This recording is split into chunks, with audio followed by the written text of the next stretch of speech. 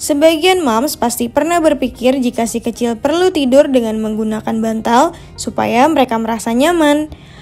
Akan tetapi, tahukah moms jika hal tersebut sangat berisiko untuk mereka terutama bayi yang baru saja lahir? Pasalnya, dapat menimbulkan beragam efek samping terutama untuk perkembangan fisik dan kesehatan si kecil. Lalu, apa saja ya efek samping penggunaan bantal pada bayi baru lahir? Tonton videonya sampai habis yuk moms! Dan jangan lupa like, komen, dan share videonya, subscribe YouTube Nakita Channel, dan juga nyalakan lonceng notifikasi supaya moms tidak ketinggalan informasi terbaru dari Nakita.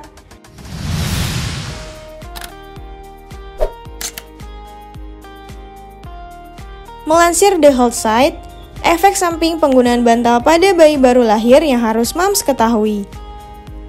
Sesak napas Penggunaan bantal pada si kecil justru bisa membuat kepalanya tenggelam ke dalam bantal.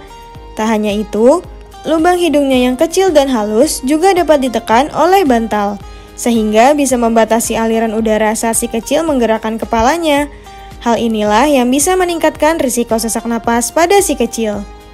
Kematian bayi secara mendadak Penggunaan bantal pada si kecil ternyata bisa meningkatkan risiko SIDS atau Sudden Infant Death Syndrome atau kematian bayi secara mendadak. Kepanasan Penggunaan bantal pada si kecil, khususnya berbahan polyester atau kain, justru dapat meningkatkan panas pada area kepalanya mams. Hal ini dapat mengakibatkan fluktuasi suhu pada tubuhnya, lalu bisa meningkatkan risiko hipertemia yang dapat mengancam nyawa si kecil. Leher bayi keseleo Mams harus tahu, bantal itu rata-rata empuk dan tidak merata. Jika digunakan pada si kecil, hal ini akan membuat lehernya keseleo saat tertidur dalam waktu yang lama. Sindrom kepala datar Penggunaan bantal pada si kecil juga dapat mengakibatkan kelainan bentuk struktural di kepala. Kondisi ini sering kali dikenal dengan sindrom kepala datar. Hal ini terjadi akibat si kecil yang tidur di atas bantal empuk dalam waktu yang lama, sehingga tertekan secara konstan.